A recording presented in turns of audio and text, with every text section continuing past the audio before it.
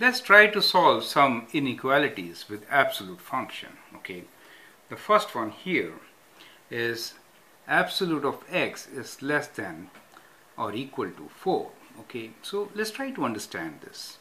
And then work out a way so that we can do this one is simpler than the other one but let's try to understand this one first. Now here what do we see is that if I have to plot my function absolute x then how will it look like? So absolute x is kind of like this right? And you define this function as uh, absolute x is equals to it's kind of a piecewise function right? When x is greater than equal to 0 it is same as x. So on this side of the x-axis it is positive of x now here you know x has negative values but absolute x has positive values so absolute x becomes negative of x if x is less than 0, right? So that is how it becomes. Now if we have to solve the question given to us, it basically means that if let us say this is 4 for us, then absolute x is less than equal to 4 means this region. Correct? So what is the value here? Value here will be plus 4 and value here will be minus 4 right so we are interested in absolute x less than equal to 4 that means we are within the domain of minus 4 to plus 4 including both of them do you see that including we'll put filled in circles here to include right where this is also 4 so this is what we are trying to say so everything under the curve here is less than or equal to 4. What I'm trying to say is here. Do you see this region? This region. So that is our solution set, right?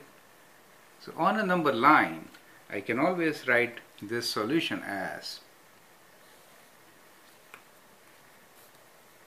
let's say this is our 0 and that's 4 then including this point and then here up to 4 right? So it is from minus 4 to plus 4 0 in the center. That is how we can say graphically the solution of this problem is right? And if you want to do it algebraically then what we can do is we can always write this because we know less than equal to means within a defined re region right so we can always write this as absolute x is actually equals to x or when it is greater than equal to 0, right? So on this side, it is less than equal to 4. But when it comes to this side, then it should be greater than equal to minus 4. Do you see that? So this inequality can be written as a double inequality where x is within minus 4 to plus 4. So that's how we get the solution for this kind of equation okay now if you have a question like this then what we will do is we will say if our function is less than equal to 4 that means it is within plus and minus 4 limit right do you understand by definition what are, what are we trying to say here we are saying that x is within minus 4 and plus 4 correct now here we have a different scenario here it is x minus 1 and not x, right? So if we try to sketch this function, then what happens? x minus 1 means that we this absolute function moved one unit to the right, correct? So it is like this. And when we say that it is less than or equal to 4, then we mean to say is that let's say this is 4 for us this region right?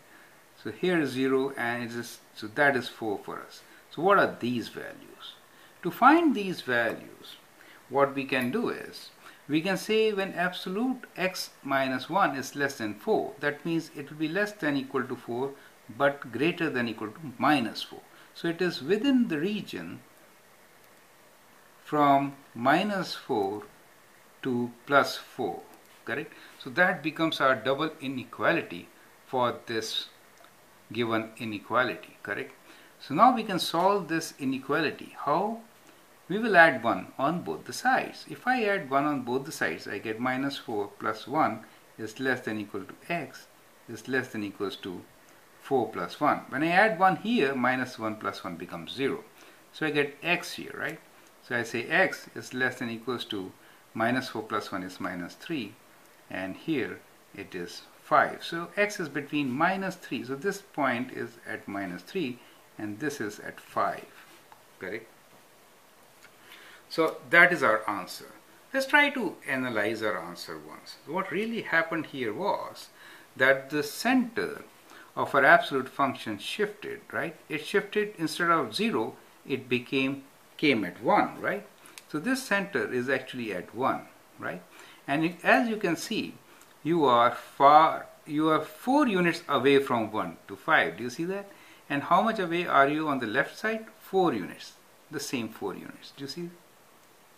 4 units away.